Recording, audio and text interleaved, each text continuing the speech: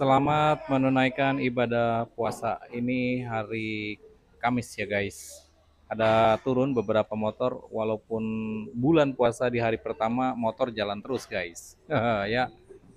Ada Scoopy warna merah, warna biru dan warna putih. Ini ready ya, ready semua ya dan warna stylish brown.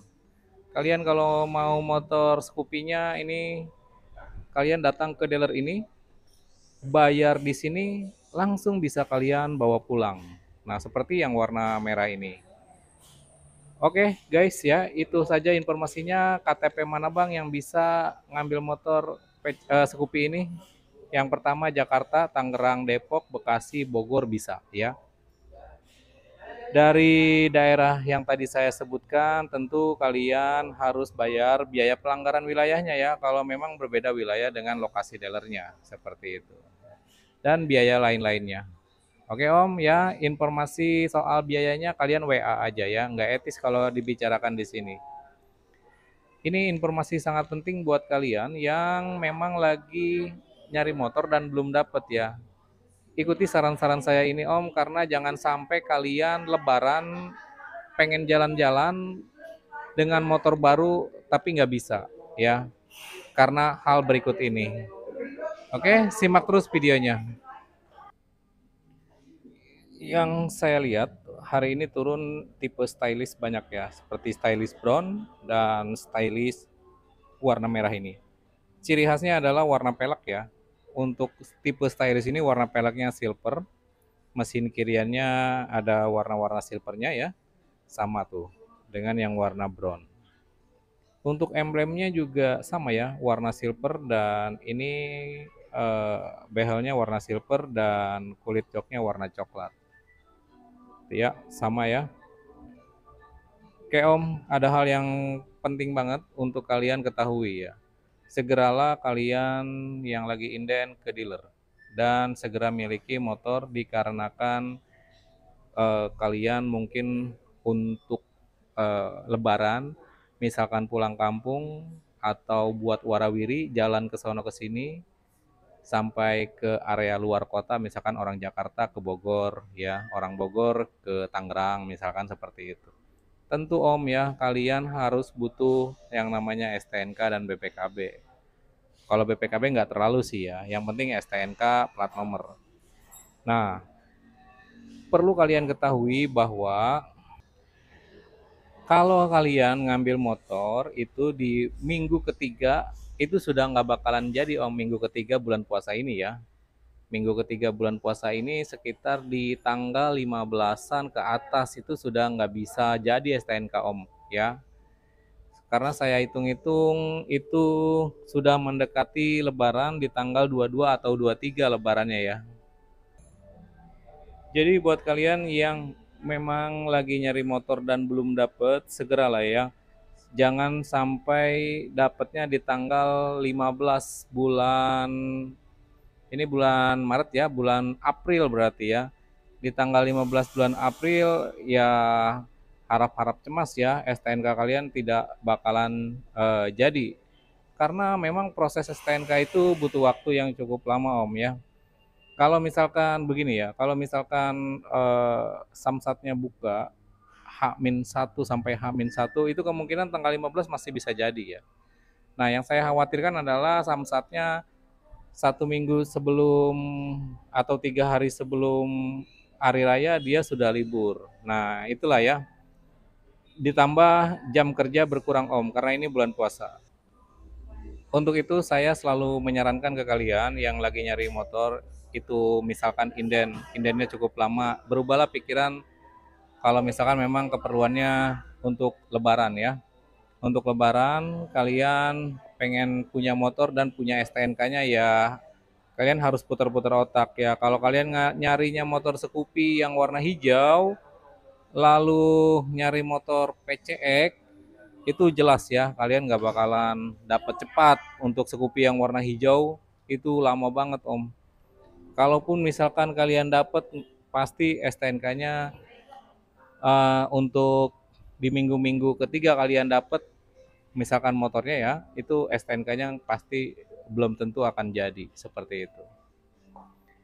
Untuk motor Scoopy tipe stylish, ya Om ya, kita bahas sekarang motornya. Tipe stylish ini yang warna merah ini dia punya decknya warna hitam nih Om. Nah ini hitamnya hitam dop ya Om ya. Warna decknya ini hitamnya hitam dop, anti lecet, jadi nggak perlu kasih spotlight lagi buat naruh barang apa pun di sini tas kalian nggak bakalan lecet area ini ya. Rak yang tertutup ini ada charger handphone di dalamnya ada remote ya. Nah ini sudah menggunakan keyless lalu sudah ada tombol ISS-nya ya, tombol starter dan garnish panel meternya juga dapat.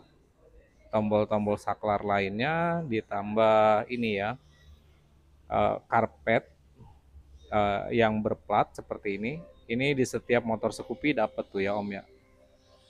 Oke, untuk yang stylish ini dia identiknya ada beberapa stiker ya yang nempel di bagian bodi depan dan bodi belakangnya. Lalu cover mufflernya dia berwarna silver, untuk cover kipasnya dia berwarna hitam. Dan emblemnya dia warna silver, lalu peleknya dia berwarna silver. Tampilan di belakangnya seperti ini Om, cantik sekali ya. Nah, kalau kalian masih suka yang suka motor uh, cup ya, ini ada Supra X, dia tampilannya seperti ini semua warna hitam dop lalu warna eh, strikernya warna emas ya pakai pelek 17 sudah cakram di ban depan dan ban belakang. Dia sudah menggunakan eh, cakram ya. Untuk ukuran ban 70-90 ini ya om ya. 70-90 tampilannya seperti ini peleknya racing. Nah ya. Lalu suspensinya teleskopik. Ini kayaknya belum belum tubeless ya Om ya. Ini enggak tubeless, masih pakai ban dalam seperti itu. Untuk lampu-lampu sennya masih menggunakan bohlam. Untuk lampu utama kita lihat ya sudah LED. Ternyata masih menggunakan bohlam Om. Ya ada dua ya. Oke.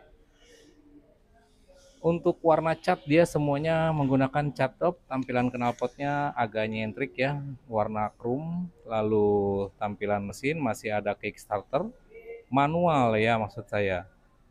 Begini tampilannya. Dan untuk kulit jok dia full berwarna hitam, tampilan panel meter ya, masih analog, tidak digital, dan seperti ini tampilan untuk bagian stangnya. Masih menggunakan kunci manual dan ada gantungan kali ini ya dikasih gantungan. Lalu untuk bagasinya ya ada lah ya walaupun nggak terlalu luas. Seperti ini om tampilannya. Sudah menggunakan cakram suspensinya yang sangat empuk ya terkenal Supra X. Nah ini ada Scoopy ya. Scoopy tipe sporty warna merah hitam. Kalau kalian mau ya ini warnanya juga keren lebih sporty ya. Namanya juga uh, Scoopy Sporty